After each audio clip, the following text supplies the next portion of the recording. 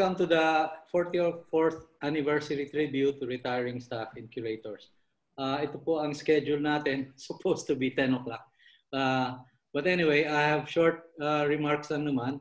I would like to acknowledge the help of everybody, especially Cam and the technical staff ng MNH who helped me get this together kasi talagang nalockout ako kanina. Also, thank you for Orly for all the legwork of uh, getting the uh, uh, plaques uh, produced. Uh, and also uh, si Ariel, I think tumulong din. So maraming din salamat sa lahat ng nag-submit ng mga testimonials niya, nila uh, for your uh, cooperation. And of course, the awardees, salamat din po. So let's start with the testimonials. Uh, the first one will be for uh, Atilita Borromeo, Administrative Assistant Sec Special Collections Officer and Property Custodian.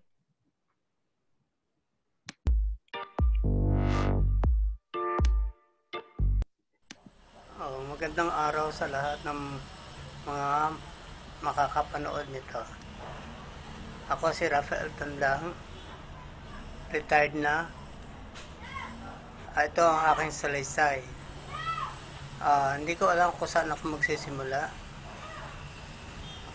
Sa dami at tagal ng pagsasama namin nila Lita sa museum office dahil sa binigay niyong opportunity sa akin. At ito ay sasamantalahin ko na ang pagkakataon na ikwento sa inyo ang lahat ng aking nalalaman. Ah, dati-dati, ang museum ay palipat-lipat ng ibang building kasi wala kaming ah, naturang ah, permanenteng office o building ng museum. At ang natatandaan ko, sa term ni Dr. Victor Gapud, ah, kami ay nasa third floor ng Entom Department. At doon niya pinagsama-sama ang ang office staff at saka ang exhibit. Ah, museum office depende sa ah, director. Kung anong department, doon kami lilipat ng opisina. Katulad ng ah, kay Dr. Kalilong, second floor ng Entom, at si Dr. Dr. William Grueso ah, doon din. At noong araw na yon, ibang, ah, ibang pagkakataon, kami napalipat sa hortorium. Tandang-tanda ko pa, ah, dahil sa half term na lumipat kami sa hortorium, struggle is the real panahong yon. Sa hirap pagkasyahin ang mga gamit ng museum. May filing cabinet, sliding cabinet, electric typewriter, manual office, manual typewriter, office table. Sa totoo lang, kakunti ang pondo ng museum. Ah, ang museum may composed ng 8 sections. Imagine mo kung gaano kahirap ang at pagod magpalipat-lipat ng building. Pero sama-sama natin kinaya. During the term ni Dr. Cru- Crueso at Dr. Calilong, nat natuloy rin ang sa wakas ng renovation ng building. Ah, building ng Poreha Dorm. Ah, ito ay nasa forestry. Natuloy ang paglipat ng bagong building under kay Dr. Sumalde. Dito nagsimula ang makukulay ang buhay. Gumanda ang nadagdagan ng pondo, pati na rin ng exhibit kasama ang mga museum artists. Sa panahong ito, saksi at ngiti ni Lita, magagamit niya ang kaalaman niya sa office work.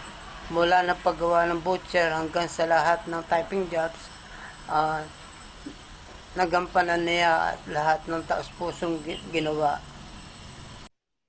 Si Miss Borromeo ay isang administrative assistant at ito ay naging ah, special collecting officer ng museum. Siya ang nakakaalam lahat ng mga income tungkol sa bisita, sa kaperahan, at ito ay nagampanan niya ng lubos pusong uh, pagtatrabaho. Kaya ako ay hanga sa kanya. Nag-uwi siya ng trabaho para magampanan niya kinabukasan ma-final niya ang typing job. Kalakip ng kwentong ng MNH uh, nagsimula habang kung ano-ano ngayon ang meron ng museum. Sa likod nito ay may iba-ibang ugali ng tao sa pagtatrabaho. Masaya ako. Nakasama ko si Lita at Oni sa journey na ito. Sana ikaw ay maging masaya na nakasama kami sa karera ng buhay. Dahil sa magre-retired ka na, at retired na ako, ah, hindi hindi ko malilimutan ang nasaksihan, ang dedikasyon mo sa trabaho. Kahit sinong director pa ang nag-handle sa atin, isa ang ating motto, work, work, work. Isa yan ang hinangaan, nag-motivate din sa amin sa trabaho. Kaya, ikaw, Wonder Woman, ng museum, happy retired it's time to enjoy life to the fullest. Ako, si Paeng Tanda. Thank you. Uh, ngayon po, we will hear uh, the reading of the letter of Dr. Augusto Sumalde, uh, care of Jeboy. Jeboy, please uh, read the letter. Thank you.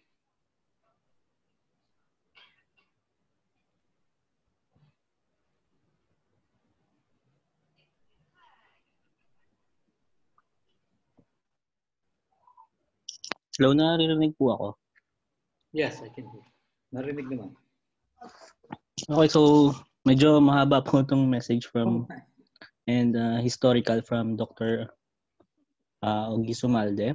So it was enti- entitled A Personal and Official Tribute for Miss Rosalia Lita G. Borromeo with thanks to other MNH staff as well by uh, our former director uh, Dr. Augusto C. Sumalde. So first, greetings to all staff of the UPLB Museum of Natural History. I was supposed to submit a one-minute testimonial video for Lita, but with your permission, a, I prepared a written testimonial for her instead, for prosperity and in preparation for my planned director's history of MNH under my term. So uh, it goes like this. MNH status in June 1995.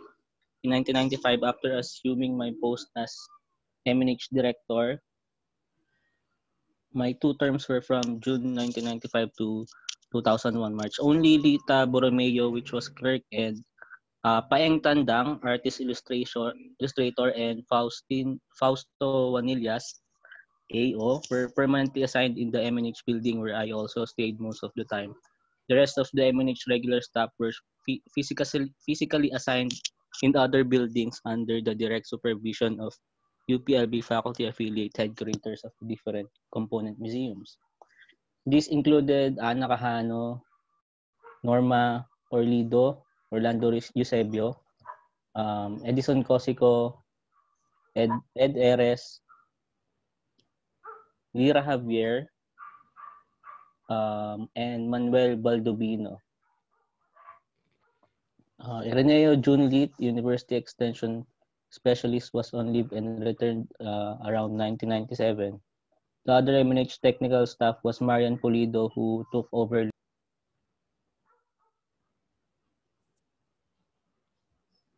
Hello, Jeboy, nawala ka. Nagsasalita. Hindi na po, hindi na, na po. Okay. There, uh, there were no other MNH technical staff at that time and the affiliate creators were all in their mother units. Before we started opening the MNH integrated exhibits to general to the general public in 1995, this MNH building was like a bodega. The physical dioramas were still without real exhibits, but the Tamarao and Dwell skeleton shells and pickled specimens in the jars of Zoological Museum were already in existence. The second floor had nothing in terms of exhibits. The most serious problem was the lack of other full-time staff, especially technical staff in the MNH, to help in the following for preparation of exhibits, inviting potential visitors, technical assistance for MNH visitors in relation to the exhibit, exhibits, formalization of income generation, collection and remittance of entrance fees, uh, and conduct of scientific activities by regular MNH staff. So the next part is entitled, uh, entitled The Dream and Lita's Classic Moment. Uh, in our first MNH meeting where I have where I gave the support staff a view of my plans for the museum, particularly in transforming the MNH into a well-patronized museum and as income-generating scientific entity, Lita expressed her honest and somewhat sarcastic sentiment. Uh, quoted, quote, Dr. Sumalde, you must be dreaming, mm-hmm. end quote. Indeed, I was, indeed I was, but with my eyes open, dreaming awake, letting the brain creativity, resourcefulness, and determination come into play in coordinating the impending activities of the MNH towards its transformation. An urgent request memo was sent to the head curators who were in charge of the MNH support staff to allow them to spend more time in MNH building during the preparations of, it, of the exhibits. Thanks primarily to Paeng, Orly, Edison, Anna, and Ed, the two di dioramas came to life and we also transformed the second floor as exhibit area. Additional exhibit materials were supplied by Dr. Sanchez, Dr. Edward, Eduardo Salcedo, Dr. Orlido, Dr. Kimio, Dr. Lani Delara, Ms. Marita Salinas, OB Director Mundi Talim, Dr. Ernesto Militante, Prof. Albiola, and Dr. Raros, and Dr. Tomas Mosano and family for the rocks. The other MNH curators and technical staff uh, Lira Javier and later Marian Pulido and uh, kung spelling pa si name ni Sir June Lit uh, after 96 1996 as well as Ariel Larona technician forestry herbarium also helped in putting up improving some exhibits at a later time. And where was Lita Borromeo at admits all these activities early on? She was busy preparing papers and vouchers for the canvassing and purchase of materials needed in the exhibits and for other official needs for the MNH. And she, along with Paeng, cautioned me about some problems uh, in purchasing things for the MNH. So, mahaba pa po yung uh, history. Basahin ko na lang po yung last part. Uh, expression of gratitude the MNH UPLB and I need to thank Lita Borromeo with utmost sincerity because her unquestionable honesty, trustworthiness, patience, industriousness, non-complaining attitude towards her work as special collecting officer without additional compensation made it possible for the income of the museum during my two terms to be completely and faithfully remitted to the UPLB cashier's office and no loss to corruption.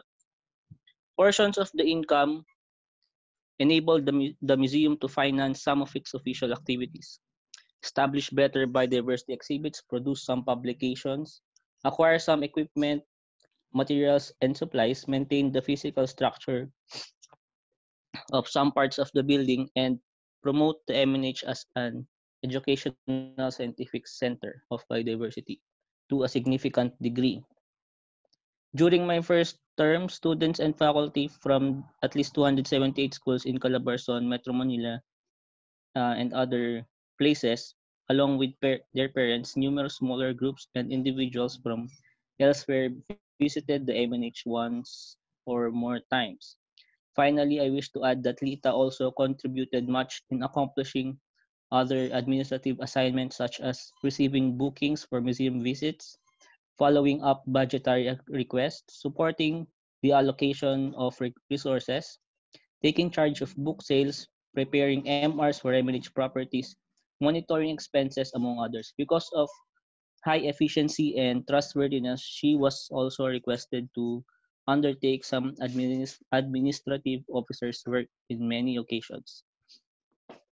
Thank you very much, Lita. We are very happy and grateful for all the high quality service says you have unselfish, unselfishly rendered to the UPLB Museum of Natural History. in particular and to UPLB as a whole. May the next chapter of your life after retirement be more happy, meaningful, and blessed. Take care and stay safe. Oh, So this message was from and signed by uh, former MNH Director Augusto C. Sumalde. Yun na ba? Thank, thank you very much, Jay Boy, for reading that. Uh, I will now show the plaque, which uh, will be given to Atilita at the best possible time. Uh, let me read the citation. The MNH of UPLB presents its plaque of appreciation to Rosalia B. Borromeo for having served as Administrative Assistant to Special Collecting Officer and Property Custodian of the Museum of Natural History. She served the MNH under various capacities and positions during her entire professional career, spanning a total of 42 years. Signed, Juan Carlos T. Gonzalez. Uh, I just have to mention that there is no date on this uh, plaque, so uh, Orly and I will spend a little bit of uh, to get another one produced with the proper inclusion of the date, which is supposed to say that this plaque is presented to her today, September 30, on the occasion of the 44th anniversary of MNH. Thank you, Paul. Now uh, we move on to Profe- Professor Mutia Maria Manalo, curator for Macrofungi, and we will hear testimonials for her also.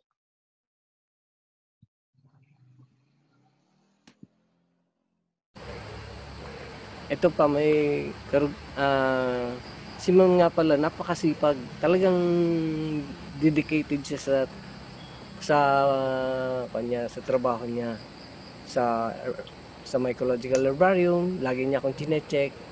Lagi niyang chinecheck yung aming collection. Gusto daw. Saka pagka may time din lang, gustong gusto ni ma'am lagi na andon para na-check nga daw. Eh, kaso medyo busy rin siya dito kasi siya ang registrar. Tapos, pagka naman nag advise sa akin, talagang tutok na tutok dahil ano niya, sabi niya, Manny, kahit walang award, kahit walang promotion, gawin mo lang gina trabaho. At ah, alam yan na nasa taas kahit wala kang award. Tapos ah, sabi nga niya, ah dapat daw laging ayos ang aming herbarium dahil ito ang buhay ng museum sa sa mga collection. Dahil nasa amin ang collection na matatagal na, yung mga 1880, ganyan. Ah, kaya dapat aalagaan ng gusto ang herbarium, sabi niya. Kaya nga pagka hindi siya available, si Sir Nelson ang aking pinupuntahan, pero mas malimit si ma'am dahil lagi siyang naandyan. Dahil registrar siya. Kaya nagagawa namin ng gusto ang ah, aming trabaho. Ganun kasipag si ma'am. Talagang kahit maglakad, naglalakad yun dito para lang mag ah, i-check or mag may mga ayusin papeles. Sa, sa biyahe, okay din siya. Marami kaming natutunan dahil ah, Talagang masipag si ma'am kahit sa bundok, akit siya. Walang ilog na tinatawid o bundok na akit. Kayang-kaya ni ma'am. Ganon si ma'am ka-dedicated sa trabaho, masipag, ma maaasahan talaga. Kaya ni?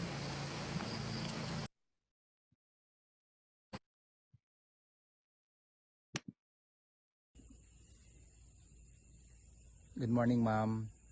Maraming maraming salamat sa inyo ah, sa inyong pagiging curator ng museum. Thank you sa mga time natin sa work natin at museum. Ah, mamimiss namin yung ah, inyong presence sa team. But nonetheless, ah, we will be just around.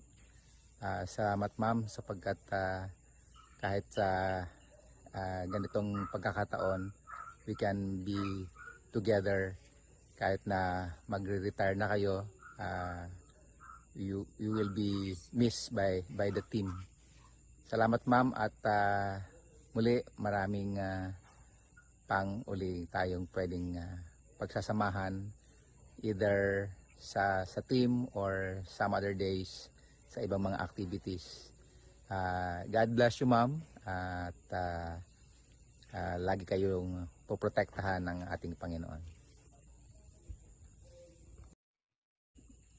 Okay, ito po ang uh, plaque of appreciation to Mutya Maria Manalo, MS.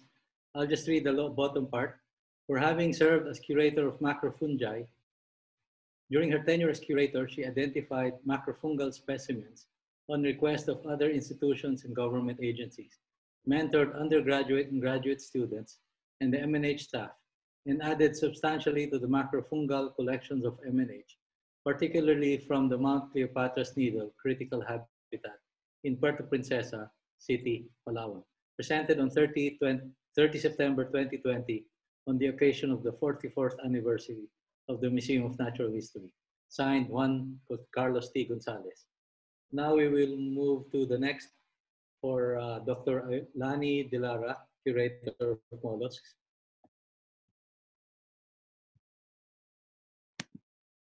Ah, good morning po. Ah, since 1986, nakasama ko na po si Ma'am Lani.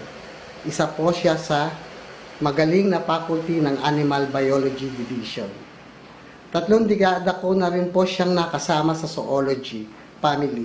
During 1990s, naging head po siya ng aming division. Medyo strict to po, pero napakabait po. Minsan, nakakasagot ako pero hindi po siya nagtatanim ng galit sa mga kasamahan niya. Minsan hindi po niya inuungkat ang mga pagkakamali ko. Bagkos, tinuturuan po niya ako ng iba't ibang pamamaraan sa trabaho ko. Walang Pasko na hindi niya ka, kinalilimutan na aginalduhan ako. Kaya Ma'am Lani, hinding hindi ko po malilimutan ang mga itinuro niyo sa akin. Kayo po ang the best teacher para sa akin. Sige po. Sige po, ma'am. Ingat po at enjoy your retirement. Miss you, ma'am. Ah, good Hi, ma'am. Kamusta po kayo? I hope that you are healthy and safe. Now, you I know that you are enjoying your retirement uh, days right now uh, in the university as well as in the museum. Uh, Ma'am Lani, uh, she has contributed a lot in the in the field of malacology here in the Philippines, especially being a teacher and a mentor to many students, including myself. Uh, she is actually one of the major person who influenced me uh, to the person that I am right now. Uh, Ma'am Lani has many legacy in the field of malacology, particularly in freshwater uh, mollusk, and she is also uh, one of the pioneers of uh, establishing the malacology lab that uh, we, her students, are now uh, using right now. Uh, I hope, mom, that uh, even that you are retired, you are still there and helping us to improve um, the field. Marami pong salamat. Ito po ang uh, plaque of appreciation to Dr. Ayulani De Lara.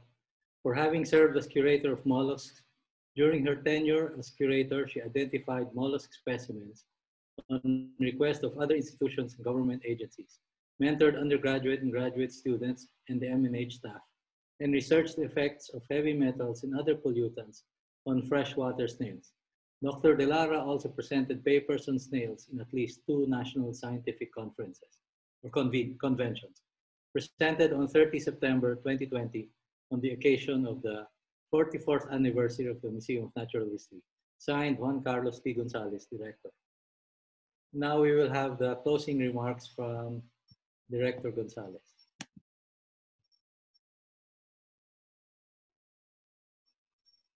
Thank you, Dave, for for, for the uh, for the introduction.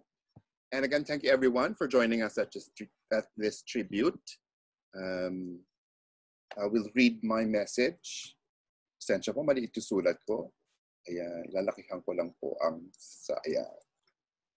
So thank you everyone for joining us on our third day uh, of this three-day um, anniversary of the Museum of Natural History, which is actually the day of our actual establishment and founding through the approval of the Board of Regents.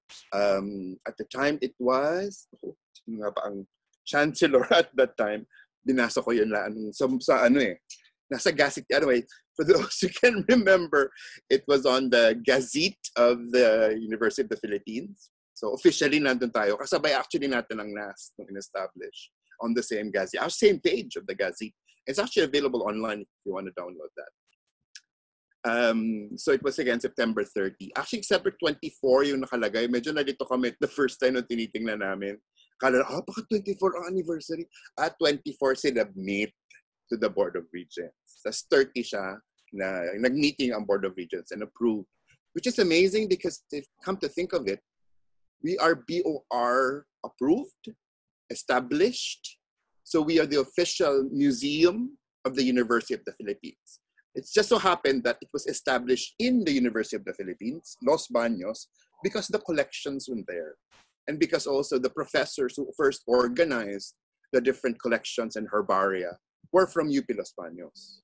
So doon naka-establish because of the collection of the, and it's amazing because it's the, I think one of the first multi-unit or multi-college collaboration if you think it's 1970s, karamihan nga kanya-kanyang college eh. But this time, everybody thought, ay, magsama-sama tayo together to form the museum. And it's amazing because we are cross colleges for all colleges that had natural history collections. It was too late nga, I think VetMed actually wanted to join then, kaso wala pa sila noong 1976. So it's amazing also because um, naka-join in naman ang VetMed within our our collective group of curators. Nandiyan po sila Dr. Masangkay, sila Dr. Salcedo. So it's amazing na even though they still had a separate one, uh, we have close connections with uh, the Anatomy Museum. Diyan po si Dr. Maala actually, um, who has been part uh, collaborating with us for a lot of time. And it's good na na, na upgrade din yung kanilang museum. So it's amazing. If you have if you have time, please do read the Gazette. Another download po siya. Hanapin niyo lang po yan. It's, it's a little difficult to down. I'll try to download and then send it to you. So it's amazing history. Uh, going back to history, I think, uh, my 44 years na po tayo. Una ko po nakilala ang museum. I was on my third year or fourth year of college as a, a zoology student. And I remember si Tito Paeng tsaka si Tita Dita, nakaupo sila sa isang maliit na kwarto dun sa building ng hortorium hindi ko alam kung paano nagkasya lahat ng tao ng museums. Liit-liit na building na yun. Alam ko sila Orly tsaka sila Edison nando sa baba ata. May isa pang building. No? Sorry, wala na yung building na wash out yata ng bagyo. So we'll, we're actually trying to find funds to help rebuild that. But it's amazing because, um, yeah, I mean, remembering how the museum started, at naalala ko, nakaupo pa si Sir Grueso dun sa isang kwarto. Kasi magpapapirma ako kay Sir Grueso nun eh. Nakaupo siya dun sa kabilang kwarto. Ngayon, parang yan uh, it's it's amazing that we have this amazing building and having it renovated. So yes, the renovation will push through. Approved na po yung bidding natin sa PITC. We'll just have to work out when because of the inabot siya ng pandemic. So hopefully uh, we'll have a new roof uh, over the museum kasi nga tumutulo na siya lahat. Um, so we'll have that rebuilt courtesy of course of funds from the government that was facilitated through Senator Gordon. So, yung mang- mangyayari na po yun. So, just to give off my own testimonial, uh, I remember Tita Lita, she worked, she told me that she worked with Dr. Abor uh, before before she went to the museum. And I think it was the same building na saan siya nagtatype. So, mukhang kilala niya yung nagpaparamdam na nagtatypewriter doon sa same kwarto. So, so ayun, uh, um, she has, I know she's done exceptional work through the years and I think so difficult to replace her as SEO Kasi everyday talaga ikaw yung uupo, magkukuha ng resibo. Actually, we tried to plan out. Sabi ko, tita, dito ba gusto mag-ticket na tayo? Kasi i-resibo mo pa isa-isa lahat ng taong papasok. 50 pesos i-resibo mo pa. So, so we had those discussions before na, bakit mag-ticket na lang tayo? Mas ma But because it was official to put out the, the resibo, mas mahal ata yung resibo kaysa sa ticket. So it was difficult to do that. I mean, doing being the one receiving the money every day for every student that comes in and remember busload ang dumadating. Um, I think 2016, 2017 we had the most, 35,000 visitors for that year. We had more visitors than any other major museum in the Philippines, course, except for the National Museum, Laki eh. Um, and we are the second largest in the country in terms of collections. So I think we'd be proud of that. So amazing work, everyone. Um, museum staff and curators, amazing that we are. Um, just I think the world should know that. And of course, with the SEO na si Tita, we actually received almost not shy of 900,000 pesos income in 2018 and 900,000 pesos in 2019. Huwag naman natin pag-usapan ng 2020 kasi may pandemic. Mahirap po ang income. But that was amazing. It's, it's really good that we have to get that. Um, and I would like to thank uh, Tito Paeng. It's really nice to see you're doing well. And Sir Sumalde, thank you very much. Alam mo, he wanted to do a video pero nahiyato siya. So kaya nagpadala po siya. Haba ng letter niya. But it's good. We'll put that into the history books. Ang dami pong kwento.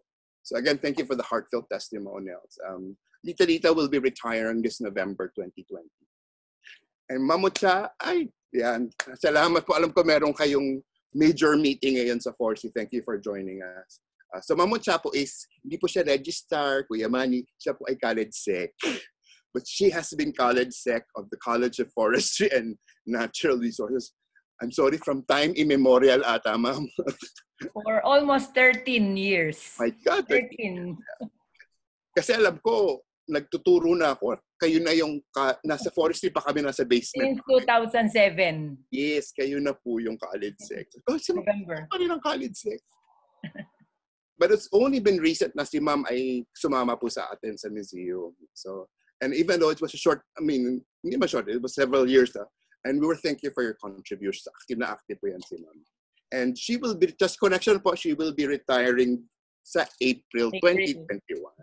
We're just joining in her now because this is a uh, for the for the uh, for the anniversary and the testimony.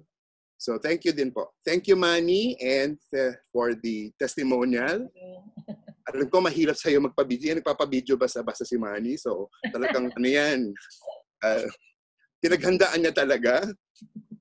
At siya naman po ay titribute natin next year kasi siya naman na mag-retire next year after dita. Actually, si Manny po ang 43 years sa museum. Si Tita Lita po ay 42 years. So siya po ang, ang nagwagi. uh, thank you also, Sir Nelson, for the testimonial. Si Sir Nelson po ay ato ang ang Naku, kayo po maiiwan kasama ni Jen at saka ni Manny sa sa ah dyan pa naman si Sir ah dyan pa naman po si Jen at si Manny kasama niyo po sa sa mycological Parating naman si Jessa. Ah, yes po. Tsaka pwede pa naman po ma dumalaw-dalaw kahit po retired na. Si ma'am pa naman meron pa akong six Sure. months. Ah, several months pa.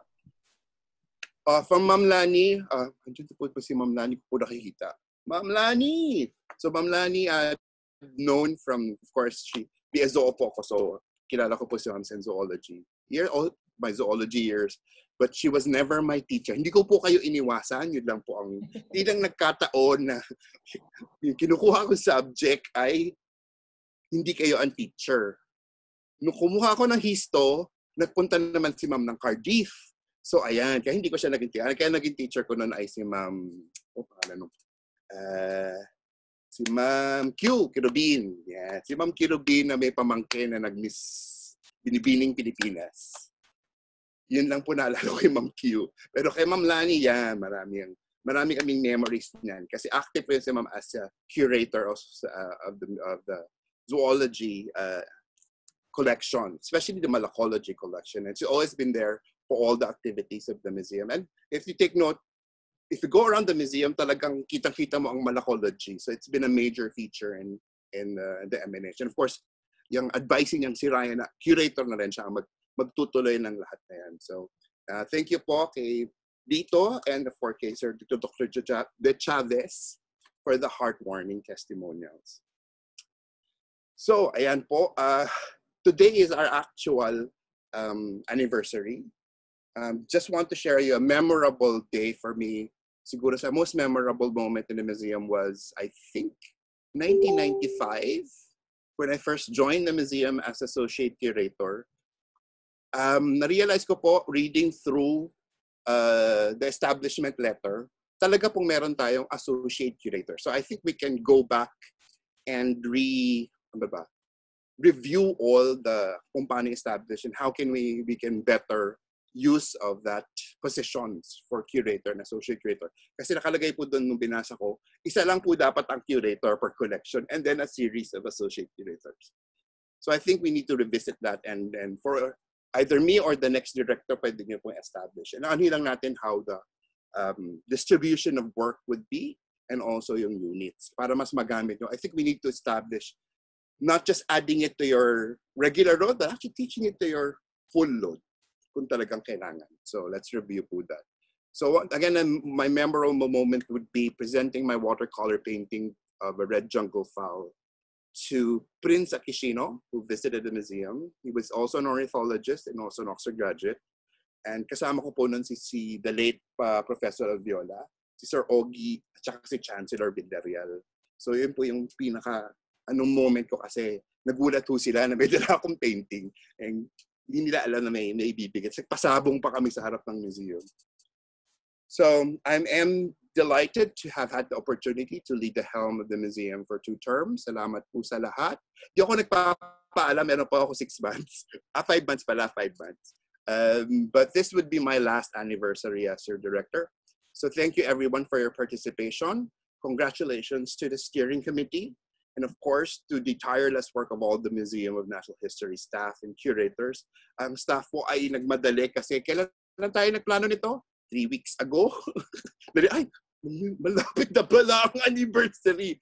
Nagkakalimutan na tayo. So yes, it only took us three weeks to put pull this out um, of the hat, ika nga. So thank you everyone for the tireless work. Um, of course, thank you to oral speakers. Amazing po. Ah, nagulat ako padamihan ng participants ha. Ang galing po nung ano, ah, panado po si, naku, sino nga ba nag 100 floor? Nalilito ako si, si Philip ba o si Ma'am Judeng? Unggoy ba o paniki ang nagwagi sa padamihan ng participants? Unggoy, sir. Unggoy, yes! Sabi na eh. Titila ko parang 98 yung kay Philip tapos nag 100 plus si Ma'am. Marami pong, marami pong foreigners na pala si Oo! May nag-participate for from India, si Vinod. So yan, congratulations, Ma'am Jude.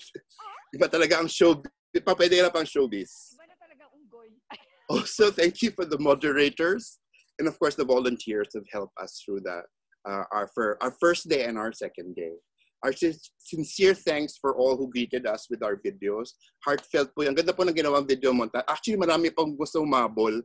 So, I think meron pa akong idadagdag na greetings for today kasi hindi po sila nakahabol ng first day.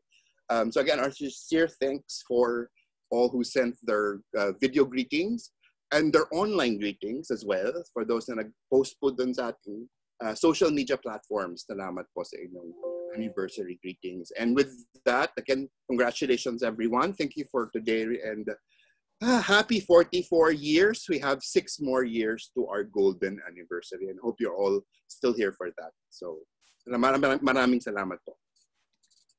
One, two, three. One more. Smile. Okay, thank you very much. Again, thank you very much for attending and for your forbearance. Uh, happy Salamat sa anniversary. inyong lahat for the tribute to me. Opo. Thank you. Dapat din, bubukas na tayo ng malamig na bote, pero wala eh. Kasalanan ni COVID. Sir Thank you JP, again. thank Happy you. anniversary Thank to you everybody. Anniversary. Bye-bye. Well appreciated.